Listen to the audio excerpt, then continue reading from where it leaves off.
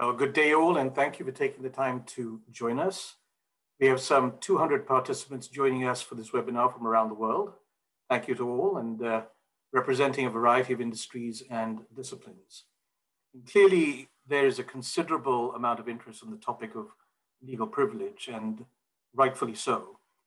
This is an area of law that, uh, specifically one might say, of the law of evidence, that is often misunderstood and frequently misapplied by tribunals, courts, and the parties themselves, especially in the context of transnational litigation and international arbitration. The consequences of a determination as to what is or what is not uh, subject to privilege can be, as many of you know, quite uh, can be outcome determinative and, and quite consequential.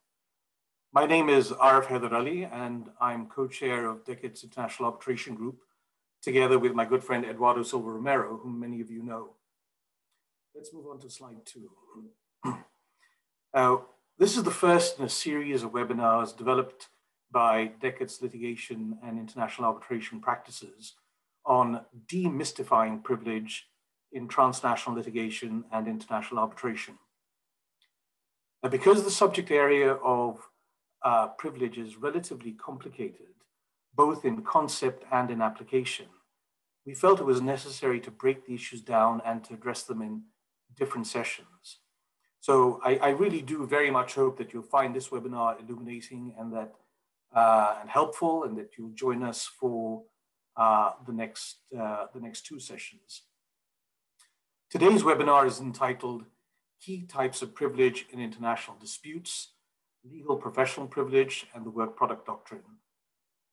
Now, all international disputes are subject to a number of competing rules and laws of some form of legal privilege that protects against the disclosure of documents and other forms of information. What we intend to do today over the course of the next 50 minutes or so is to explore the differences and commonalities between national laws and how this can result in different outcomes for the parties. Given the limitations of time, we have selected two key types of privilege for the purposes of today's discussion. The first is the attorney-client privilege, and the second, the uh, work product doctrine. The second webinar will consider other key types of privilege and will address specific issues relating to privilege in international disputes, including issues associated with third-party funding and states or state-owned entities. We also intend to provide practical guidance with respect to uh, uh, parties that are involved in M&A related disputes. And the third webinar is going to explore how an applicable law or laws of privilege is or are chosen from the various often competing legal regimes in international disputes.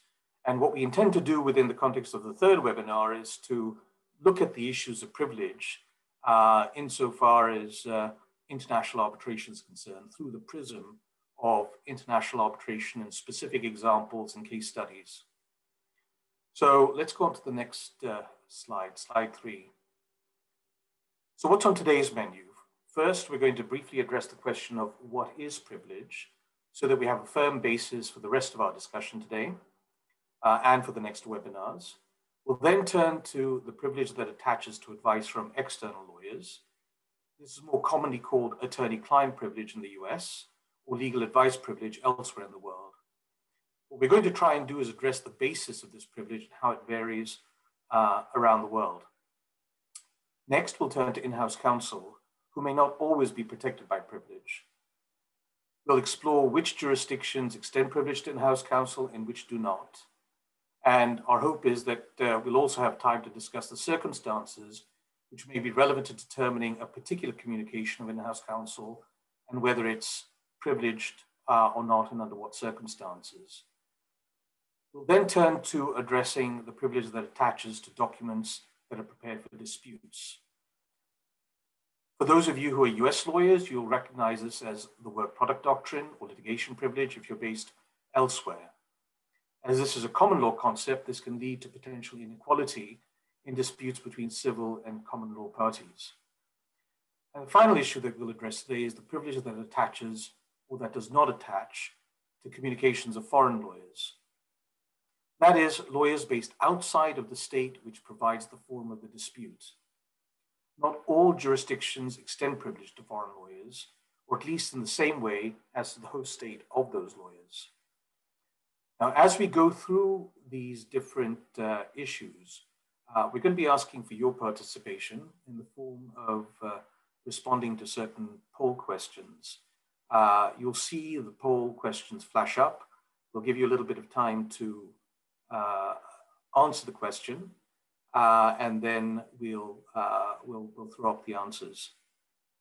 Now, spoiler alert, in, often in the world of, of privilege, law and conflicts of laws, the answer to any particular issue is it depends.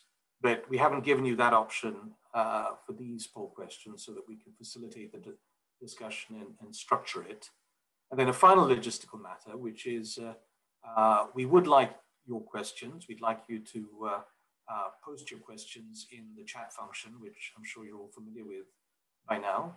Uh, and uh, we'll try and get to those questions at the end. And if we don't get to them in the context of the, of, of uh, the next hour, then uh, we'll be sure to respond to those questions later on.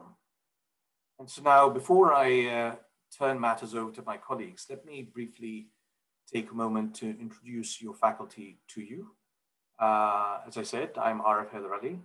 we're also being joined by my partner, uh, Linda Goldstein, who is a very seasoned litigator, uh, has been an uh, American lawyer litigator of the week, uh, has uh, considerable experience in transnational litigation, uh, and is, is, a, is, extremely experienced in all forms of, of, litigation and arbitration.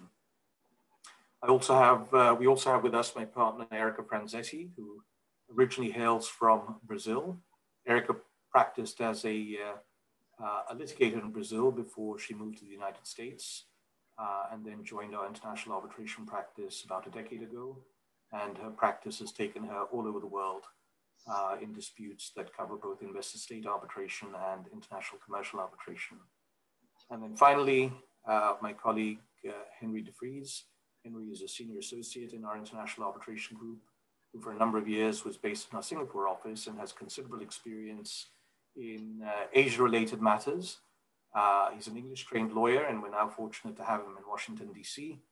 Uh, and Henry is one of the main architects of this, of this webinar, and so my gratitude to Henry for all the work that he's done.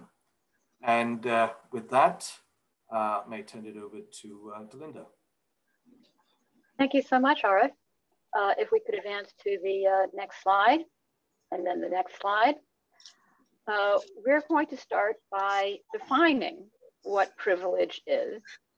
Uh, most basically, privilege is the right to withhold information from a legal proceeding. Different privileges may have different scopes.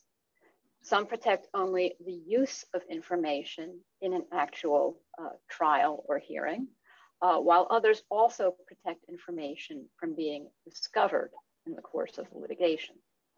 Some privileges are qualified, meaning that they can be overridden if certain conditions are met.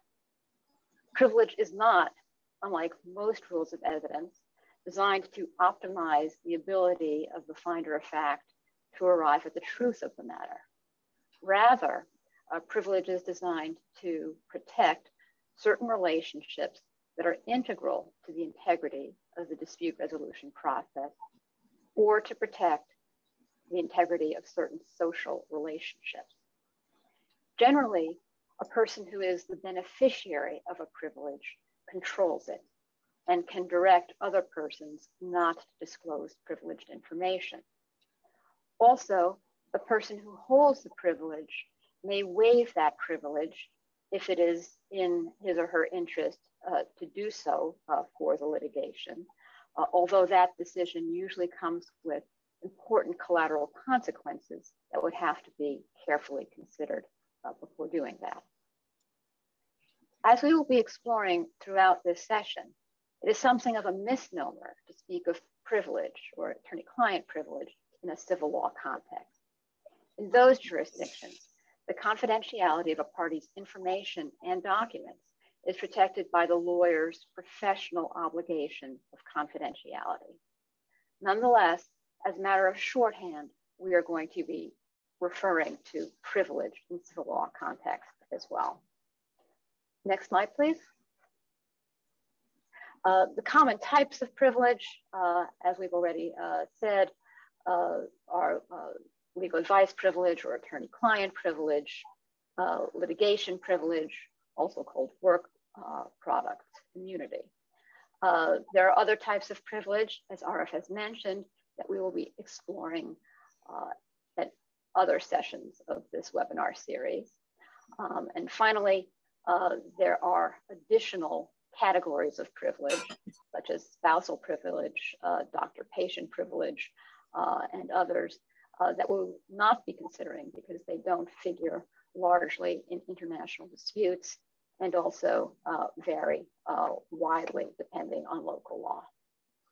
The next slide, please. So we're going to start with attorney-client privilege and specifically uh, advice from outside lawyers. And we're going to start with our first poll question. Uh, a German company is buying a target company uh, from a Singaporean company. Each of these two companies is advised by its own external lawyers regarding potential business synergies anticipated from the deal. Which company would reasonably expect its external lawyer's advice not to be produced in a potential litigation or arbitration? the options are one, the German company, two, the Singaporean company, three, both, and for neither. And to give you a hint, Germany is a civil law jurisdiction and Singapore is common law. We have the poll. So if you put your answer in, there are no consequences for a wrong answer. So please go right ahead and put your answer in.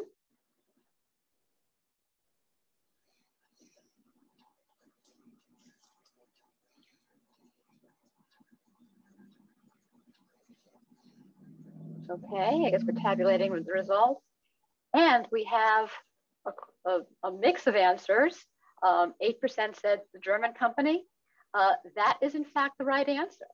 Uh, so it looks like you have all come to the right place for this uh, webinar. Um, shall we go to the next slide? Okay. Um, we're going to start by talking about common law jurisdictions, um, and uh, specifically uh, the US. Uh, one of the most basic misconceptions we see, even among very uh, sophisticated business people, is the idea that everything that they say um, or transmit to a lawyer is privileged. Another misconception is that a business person can stamp a document privileged or confidential, and it becomes privileged and immune from discovery. In fact, there are four basic elements that any litigant who wishes to assert attorney-client privilege over a document must establish in order to benefit from that privilege. The first um, is a communication that is usually uncontroversial. Uh, the second is that the communication must be between counsel and the client. Uh, that's usually very straightforward in the context of natural persons and becomes somewhat more complicated in a corporate context. Uh, the third requirement, confidentiality, is crucial. Uh, thinking back to pre-pandemic life, if a lawyer uh, and client uh, were out having lunch in a crowded restaurant and the lawyer were shouting uh, legal advice to the client, it would be very difficult to argue afterwards that uh, the client had a reasonable expectation of confidentiality uh, in that conversation. Uh, more uh, frequently, um, if an external uh, lawyer is providing legal advice in the context of a board meeting, and other persons, other advisors to the company, are also present at the meeting but have nothing to do with the subject matter of that advice, uh, that uh, legal advice uh, might not be protected uh, by privilege because confidentiality uh, will have been lost. the fourth requirement is that the communication must be for the purpose of seeking obtaining or providing legal advice. So the lawyer, so if the lawyer and the client are discussing a business issue, uh, that would not be protected by attorney-client privilege. As you might imagine, uh, this requirement is uh, particularly uh, challenging to establish uh, in the context of communications from in-house counsel, where in-house counsel often wears uh, two hats and advises on both business and legal issues at the same time. Finally, even if a communication does satisfy all of these criteria, it may not be deemed privileged if it is in furtherance of crime or fraud. Henry, can you describe the English position on privilege? Yes, thank you, Linda, and hello, everybody. Um, can we go to the next slide, please? Uh, yes, so the position in England with legal advice privilege uh, is broadly similar to uh, the position with attorney-client privilege in the US, which Linda uh, has just described. Um, same base, four basic requirements are the same, uh, which I won't repeat, uh, and also exceptions such as the fraud or crime exception are, broadly similar. But one thing we did want to make you aware of with regard to English law and privilege uh, is that there is a risk that um, privilege over legal advice may be lost if that legal advice is communicated or shared too widely. Now, of course, this applies to all or almost all jurisdictions around the world. Um, advice has to be confidential in order to be privileged, uh, but this risk is particularly acute uh, when English law applies or might apply to a transaction or dispute. Uh, and this is because for privilege purposes under English law, the client is defined as a specific group of employees within a company that is authorized to request and receive legal advice. Um, if advice is sent or communicated outside of this group, uh, that may lead to uh, privilege over that advice being lost. So, well, what is this group, uh, client group, you might be asking yourselves? Well, of course, uh, the lawyer's answer is it depends, um, but it really does depend on all the uh, circumstances and facts of, of, every case. If you have a small company, it may be well be that all the employees are authorized to see the advice. But we can see that with a company of thousands of employees, um, such as the companies that our, our attendi attendees today are representing, uh, it could, can be hugely impractical uh, for only a handful of employees out of those thousands to effectively be able to see any legal advice. This position, it must be said, is somewhat controversial uh, under English law. Uh, several commentators and indeed lower courts have suggested that uh, the time has come for uh, the position to be revised. Um, and the position comes from the famous Three Rivers case, uh, which spawned years of litigation in the English courts uh, on this and many other subjects. Um, but despite this controversy and debate, this remains English this remains English law, at least as of today. Uh, so care should be taken uh, with not sharing uh, legal advice too widely when there is a risk that English law might apply. Uh, if we could go to the next slide, please. And I'll hand it over to uh, Erica. Thank you, Henry. Um, well, the position in civil law jurisdictions uh, can be quite different. Um, as Linda advanced, there is no evidentiary protection analogous to the attorney-client privilege in most civil law jurisdictions. And the reason is that in most civil law systems, there is no formal basis as we typically see in common law systems. So the concept of privilege has not really developed. However, the secrecy of attorney-client communications is typically codified in professional ethics laws criminal laws, and sometimes even the Constitution. And the purpose of professional secrecy is the same as the legal advice privilege, to promote a relationship of trust between lawyers and their clients. So in other words, most jurisdictions provide for strong protections to those communications as a way of encouraging clients to make full disclosure to their lawyers, knowing that the information given to the lawyer will not be used against them. So the limited scope of discovery combined with a strong protection given to the lawyer-client relationships in most civil law jurisdictions may create the equivalent of a privilege-like protection. Next slide. Now, the application of this privilege-like protection in cross-border proceedings may vary depending on the civil jurisdiction in question. And in this slide, we have two examples with uh, different outcomes. The first example is an international arbitration case involving a document sent by an English attorney to a Lebanese party. The ICC tribunal was seated in Switzerland, so it looked into the laws of England, Switzerland, and Lebanon to decide the issue. And the tribunal concluded that under the um, laws of all such jurisdictions, a client seeking advice from an external lawyer would expect such communications to be privileged and kept secret. And with respect to Swiss and Lebanese law, the tribunal found support on the lawyer's professional secrecy obligations, um, which, and the, the tribunal pointed out, were likely to cover everything in connection with the lawyer's mandate.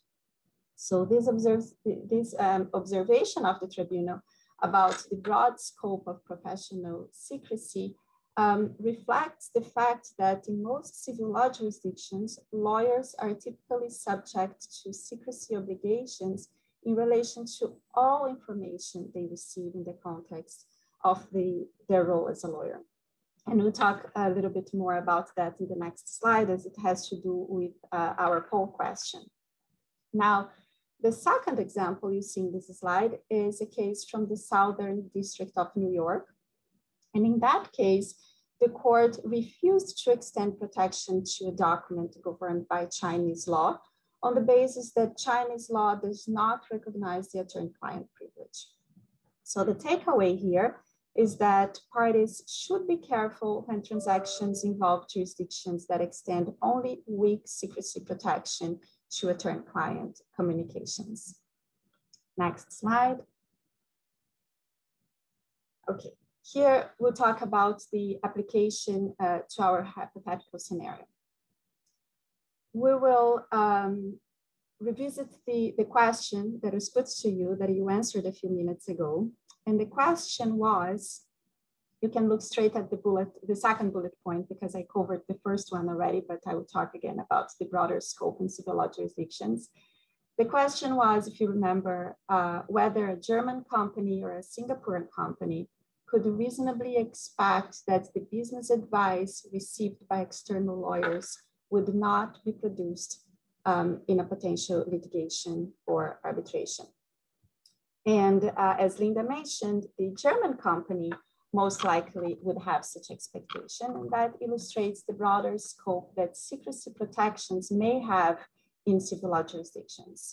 As you may know, Germany has no tradition of discovery proceedings, and that might be the reason why most of you uh, thought that the Singaporean uh, um, company would have that expectation.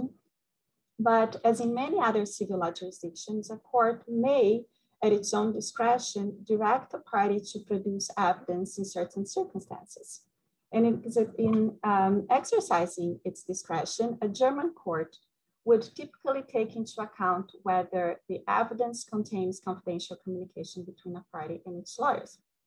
And for its analysis, the court uh, would consider the fact that the lawyer's secrecy obligations relates to everything that has become known to the lawyer in professional practice.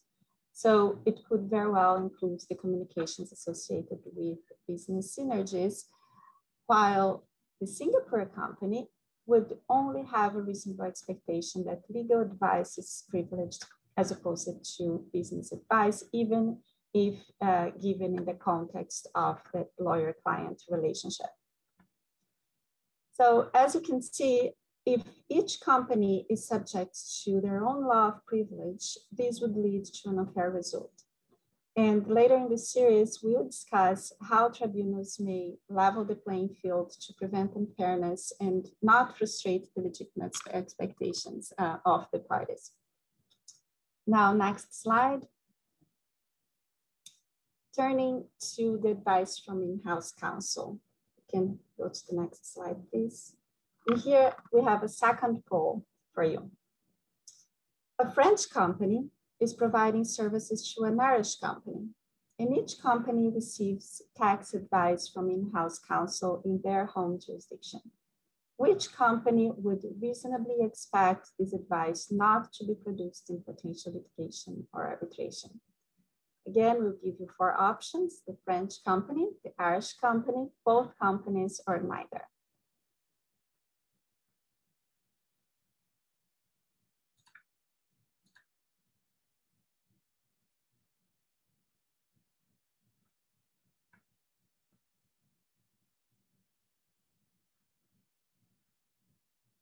Results should be coming in a few seconds.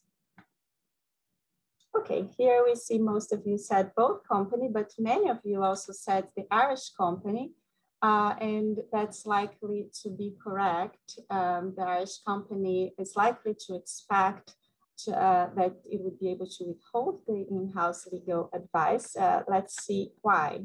So moving to the next slide.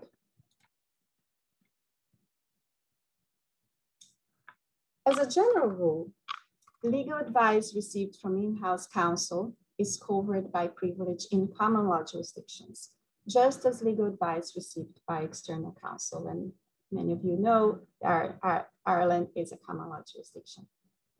On the other hand, in most civil law jurisdictions, and that is the case of France, the legal professional secrecy is not extended to in-house counsel advice.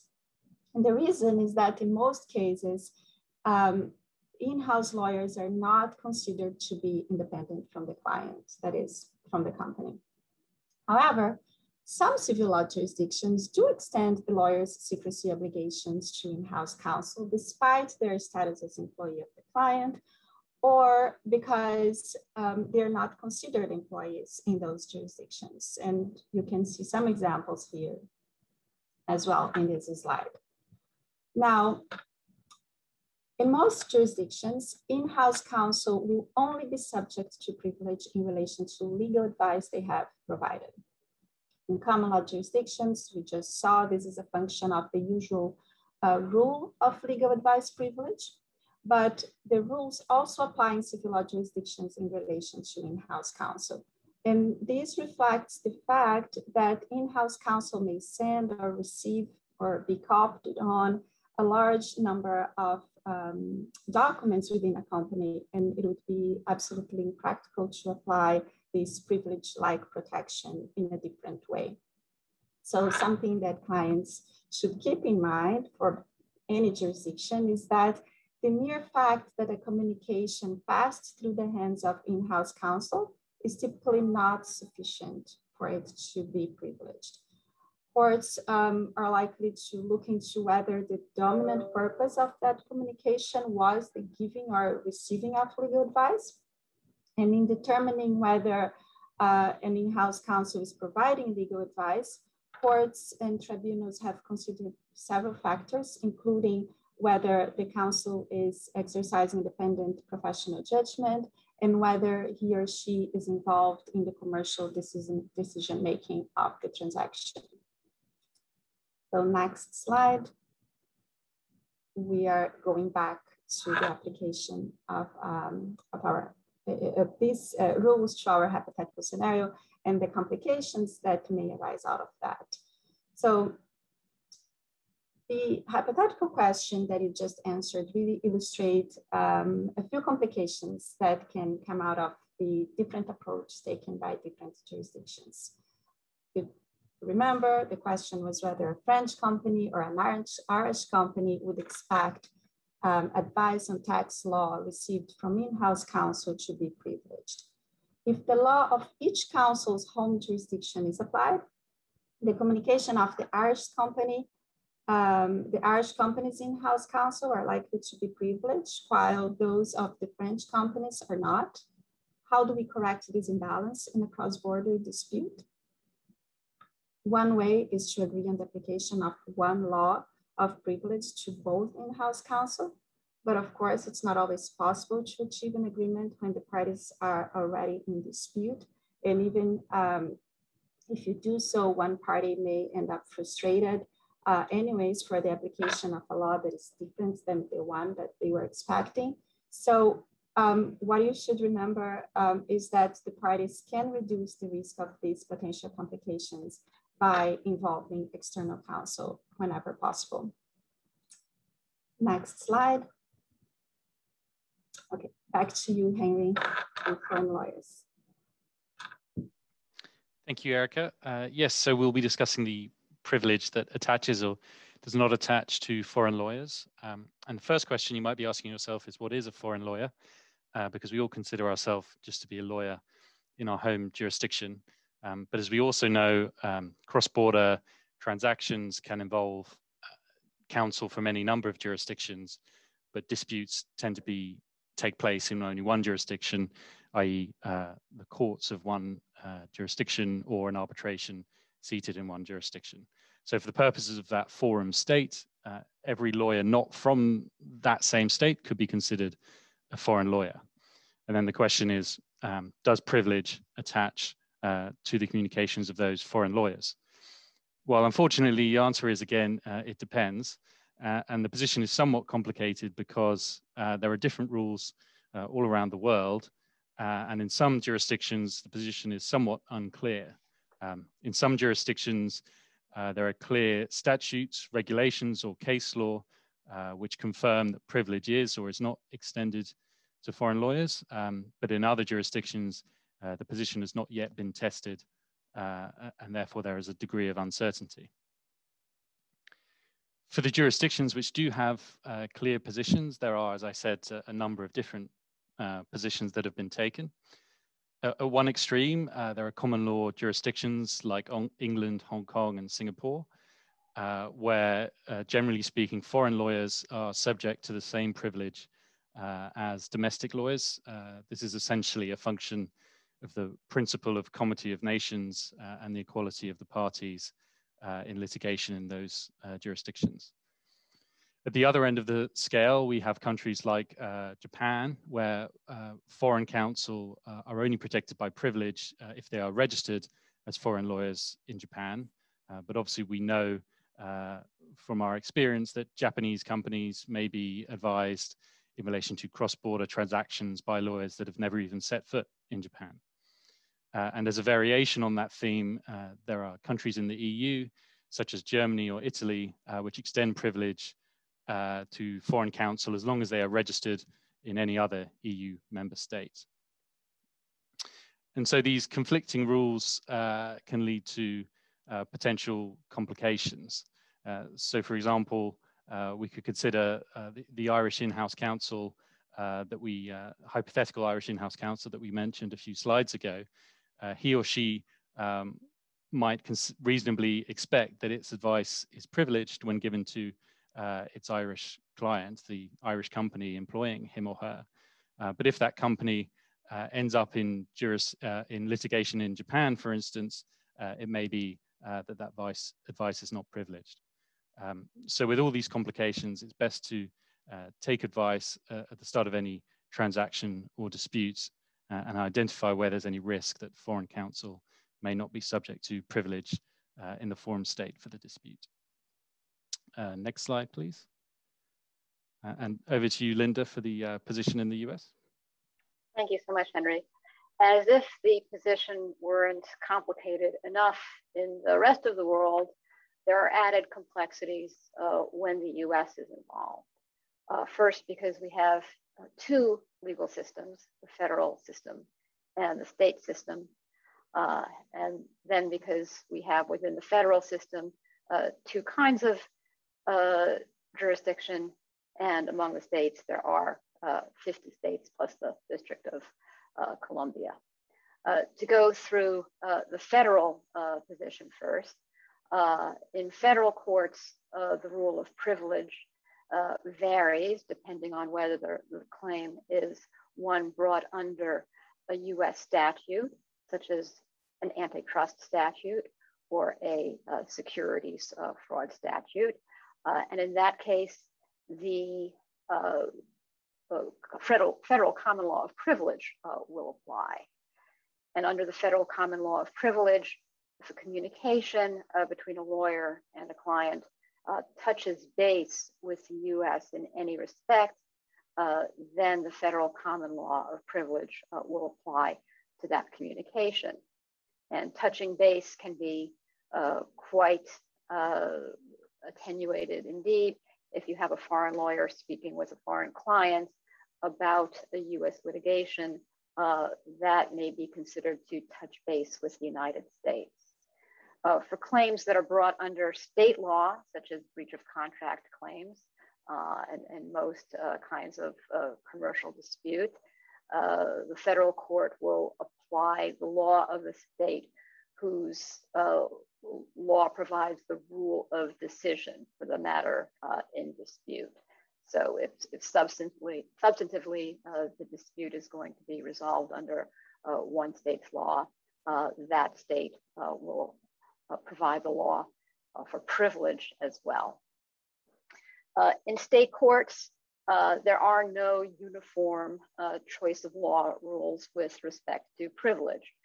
some states deem privilege questions to be procedural, and they will apply the laws of their own uh, forum uh, to whether a communication is privileged or not. Uh, other states apply a uh, most significant relationship uh, test to uh, whether a communication is privileged or not. And in these instances, it is more likely that the parties' expectations as to whether their communications are, are privileged or not uh, uh, will uh, not be frustrated. I think Henry is now going to introduce our next poll. Uh, and yes, uh, I'll now be talking about the privilege that attaches or does not attach to documents prepared uh, for disputes. And if we go to the next slide, we can have our third and final poll for you. Um, third time lucky if you didn't get the first two right, perhaps. So an English company uh, is in dispute with a Japanese company. Each of these companies has commissioned a report from external consultants regarding the merits of their dispute. No lawyers were involved in the creation of the reports. Which company would reasonably expect its report to be privileged? And you should be familiar with these answers by now, but they are the English company, the Japanese company, both or neither. And again, your clue, if you need it, is that England is a common law jurisdiction and Japan is a civil law one. We'll give a few seconds for the results to come in.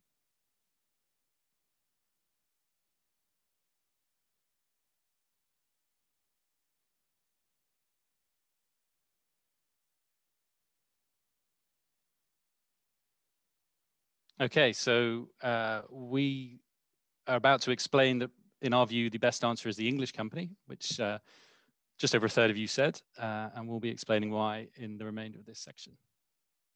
So we can go to the next slide. Yes, so the first point to note about um, documents prepared for disputes and privilege issues is that this is essentially a, a common law concept may have different names in different common law jurisdictions, such as work product doctrine or litigation privilege. Um, but generally, the requirements for the privilege are the same, or at least very similar.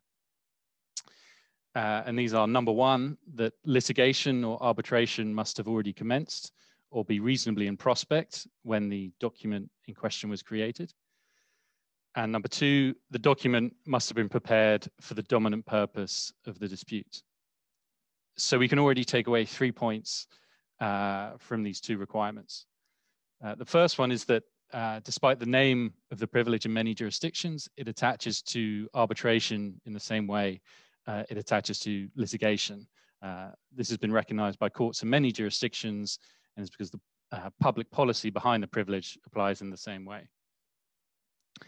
Secondly, if the litigation or arbitration has not yet commenced, uh, it, it, will be necess necessary to show that it was reasonably in prospect. Um, well, what does this mean? Uh, again, it, it, depends on the facts of the case, and courts have approached this test slightly differently in different jurisdictions. Generally, they have not been overly strict in, in doing so. Uh, and as a general rule of thumb, if either party has sent a notice, notice of dispute to the other party, uh, then it's probably fair to say that litigation or arbitration is reasonably in prospect at that point. And third, the document must have been prepared for the dominant purpose of the dispute. And again, this has been considered by courts uh, in various jurisdictions. It, it's not necessary to show that the sole purpose for the creation of the document was litigation or arbitration, but it will be need to be shown that it was the main purpose. Uh, it it's not sufficient simply to show that a document had, uh, now has some relevance to the dispute if it was not prepared for that purpose at the time it was created. The other key point to note about this privilege uh, is that it, it is potentially broader than attorney-client privilege or legal advice privilege in that it can cover documents prepared by non-lawyers uh, as well as lawyers.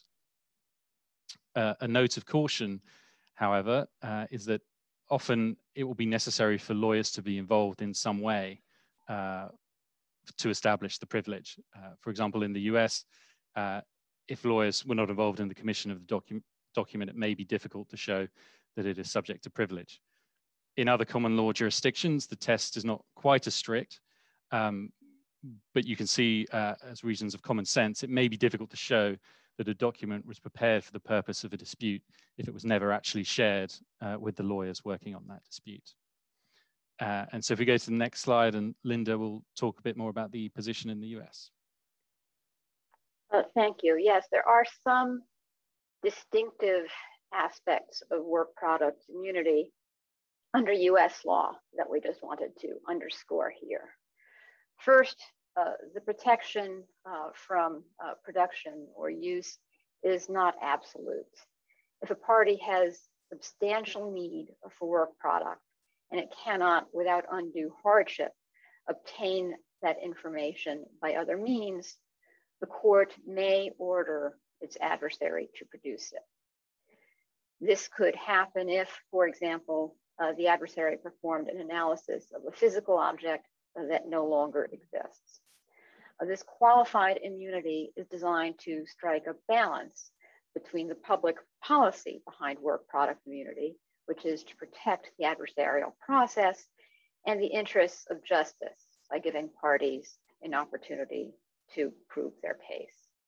Uh, there is no equivalent uh, to this uh, qualified immunity in other common law jurisdictions. Uh, second, uh, there's an exception. To the exception in the US, a core work product, meaning work product that reflects the attorney's mental processes or thoughts, is given a higher level of protection uh, than uh, analysis or compilations of facts. Uh, it is very unlikely that a core work product uh, reflecting an attorney's uh, thoughts and impressions uh, would meet the substantial need test because a party is, is not entitled to the mental impressions of its opposing counsel. Uh, finally, uh, attorney-client, unlike attorney-client communications, there is less risk that documents uh, produced as work product uh, will be waived. Uh, the protection for those documents will be waived if those documents are shared with other advisors to the client. So long as the uh, publication of the document to the client's other advisors uh, does not mean that the work product is likely to be conveyed uh, to the client's adversary uh, the work product will uh, retain its protection. In other words, it's uh, much harder to waive protection for a work product than it is for attorney-client communication. Um, back to you, Erica. Thank you, Linda. Next slide. Okay. So yes, there is no equivalent concept to work product doctrine in civil jurisdiction. Um, just as for the attorney-client privilege, this reflects the fact that civil law jurisdictions have only limited, if any, really, document production in domestic litigation. So in most jurisdictions, there is no need for the development of specific rules of privilege protecting documents from discovery. Now, this does not mean that documents prepared by a lawyer in anticipation of a dispute will necessarily be discoverable in an international dispute. Um, those documents are usually uh, protected by legal professional secrecy obligations, um, as we discussed a few minutes ago. Now, um, remember, communications involving only, involving only in-house counsel are less likely to be protected and documents not involving any lawyers at all are um, probably uh, very unlikely to be kept secret unless uh, some other kind of privilege applies. Back to you, Henry. Thank you, Erica. If we go to the next slide, um, we'll go back to our hypothetical scenario that we asked at the beginning of this section. And so just to remind you, the question was, um, can the English or Japanese company um, expect the report of an external consultant prepared for a dispute to be privileged? Uh, and it is very likely that the English company will expect that its consultant's report is privileged. This is because um, this is almost a classic case of litigation privilege, and the English company, naturally coming from an English law background, will expect that litigation privilege will apply in its disputes. The Japanese company, uh, which will not be perhaps familiar with litigation privilege or work product doctrine or any of its equivalents, or at least unlikely to expect its application, uh, probably does not have a reasonable expectation that the consultant's report uh, will be privileged or, or, free from disclosure in the litigation uh, or arbitration. With that said, uh, the Japanese company may still be surprised to have to disclose it because it may be familiar uh, with the lower or, or non-existent scope of document discovery uh, in Japanese court litigation, which Erica was just alluding to. So you may have had this, if you answered both to this poll, you may have had this uh, in, in, mind.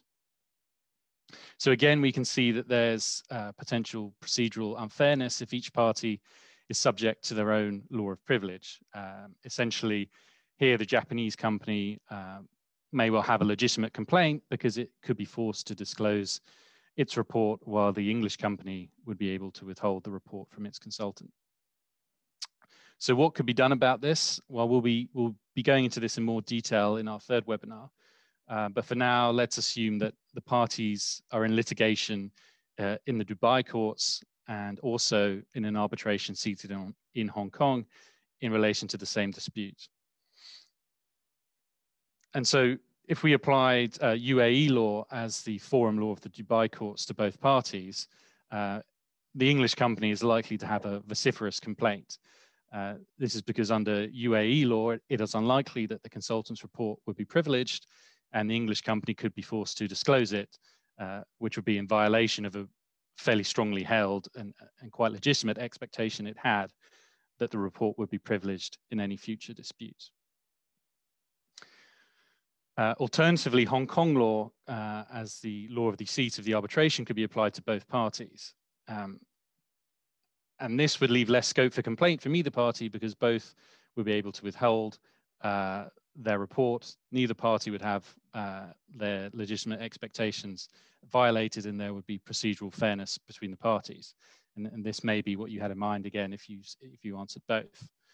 Um, though this may be a attractive practical solution, however, there's little, uh, arguably little theoretical support uh, for common law principles of privilege to be applied uh, to a civil law company. and indeed, arguments of this nature could be raised by the English company in the arbitration uh, in seeking to force the Japanese company to disclose the report. Uh, and so what's, what's the main takeaway here for parties? Uh, well, again, complications can be avoided by uh, involving counsel, uh, preferably uh, external counsel, because as we've seen, in-house counsel are not always protected.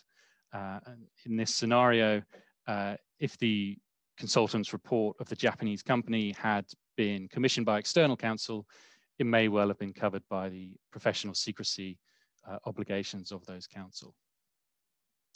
and so I'll hand it over to Arif at this point. Uh, thank you, Henry. Thank you, uh, Linda and Erica. Um, Now, uh, the, the next couple of slides just deal with uh, a summary, which I'll leave for all of the attendees and recipients of the PowerPoint to read through. Uh, and I'm going to do that because we've received quite a few questions and I've been busy trying to uh, pull those various questions together. And so we'll take the remaining few minutes to address those. Um, the first question goes to Linda, uh, and this relates to a situation where uh, a dispute uh, is underway and there are privileged documents uh, that, are, uh, that are in play. And the question is, can testimony be elicited on information underlying legal advice?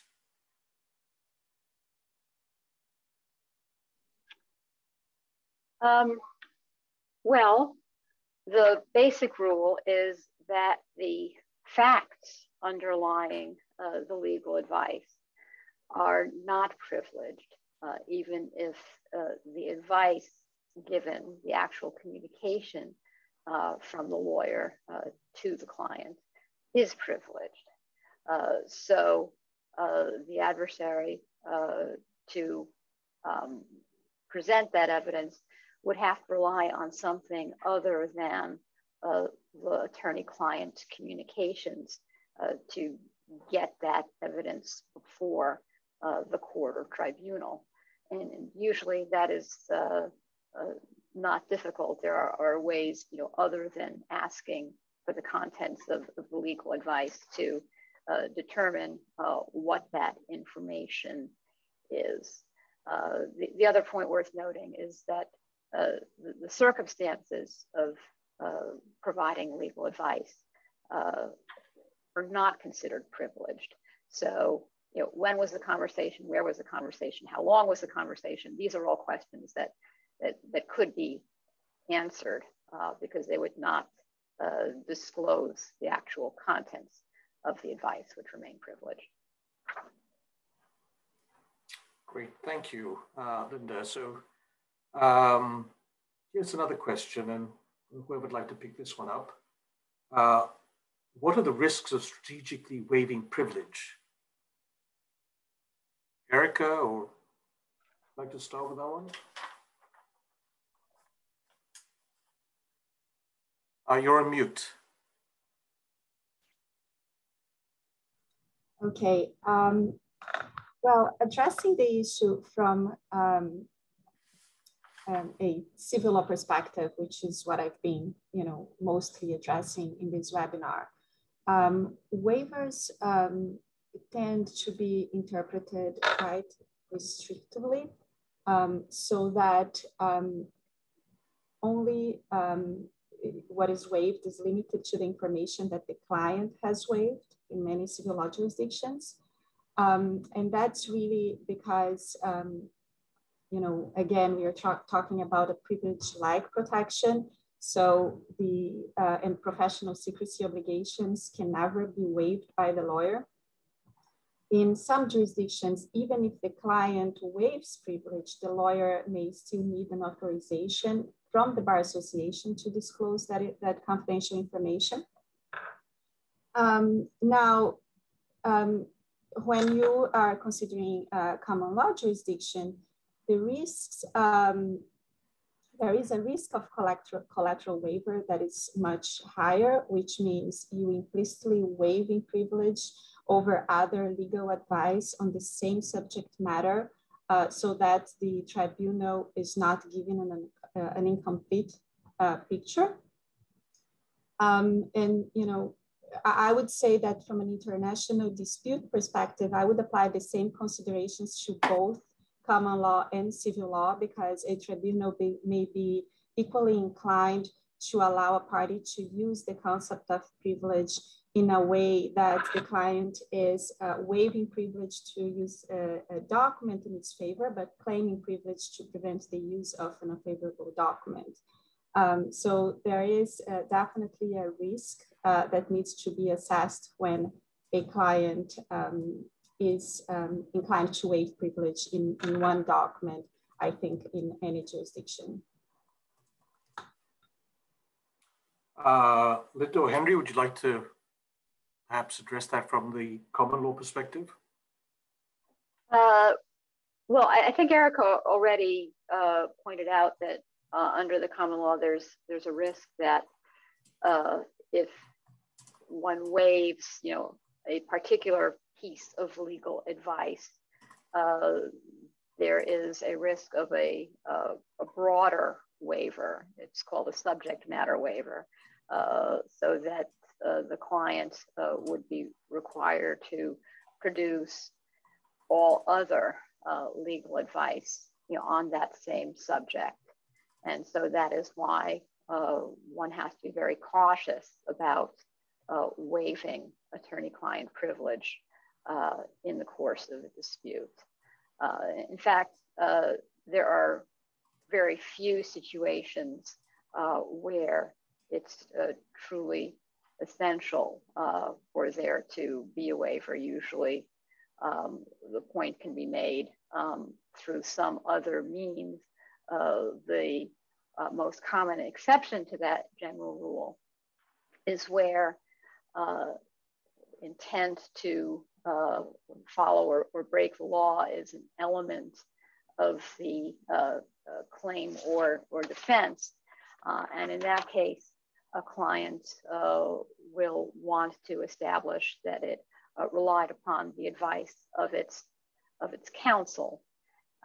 and that will um, be essential uh, to, to making out that claim or defense. So uh, there the issue is, uh, does the client uh, really need to, um, to assert that defense because uh, the collateral consequences you know, are that uh, a lot of other privileged information will have to be produced. Linda, picking up on, a, on something you said earlier and a point you just made, now that we're in this virtual world, I mean, earlier we were at restaurants and people might be shouting out or speaking in loud voices, issues or points, uh, information that might fall uh, within the waiver uh, of privilege or be privileged. I mean, what about today when we're in this virtual world and we have IT professionals and others who uh, may be participating in some form or another in a uh, in what would otherwise be a privileged conversation? Yeah, I would counsel caution. Uh, if there were a, a video meeting, uh, I would uh, try to make sure, for one thing, that it wasn't being uh, recorded, uh, because then you would have actual um, evidence that, that would be potentially subject to production. Um, if it's a sensitive uh, subject, um, I might uh, have the communication uh, by a more traditional means, such as a phone call that didn't require uh, technical assistance, uh, just to uh, reduce the possibility that there would be a um, a waiver or, or, or, frankly just a, a loss of, of confidentiality um, because of uh, leakage of information. Great. Maybe we just have time for one more question. Uh, and that let's let's look at the situation where information is being disclosed uh, to a governmental investigator or regulator. Are there any special rules that apply when disclosures are being made uh, to public authorities? Maybe Henry, you could pick that one up, and then Erica, and then if you have any other points to add? Well, I can certainly take it from the uh, English law uh, perspective, which is that um, the general rule is that disclosure to a regulator or investigator does not automatically lead to loss of the privilege um, under English law, at least. Um, if the uh, information is being provided uh, confidentially uh, and for a limited purpose, um, then it may well be possible for uh, the party being investigated to maintain privilege uh, over that material. Um, of course, there can be uh, complications if the material uh, subsequently becomes published, whether in court proceedings or on the website of the government regulator. um, because there may well come a point where the material is no longer confidential. Uh, it's essentially in the public domain. Uh, and at that point, it may be quite difficult to argue that um, the material is still privileged. Uh, so, so in general, at least where UK regulators are, are concerned, parties should not despair, but um, you know, take all available precautions to ensure that the uh, material is going to be treated confidentially uh, and used only for the purpose of the investigation, which of course it should be anyway. I don't know if, if Eric or Linda want to add to that from any other jurisdictions.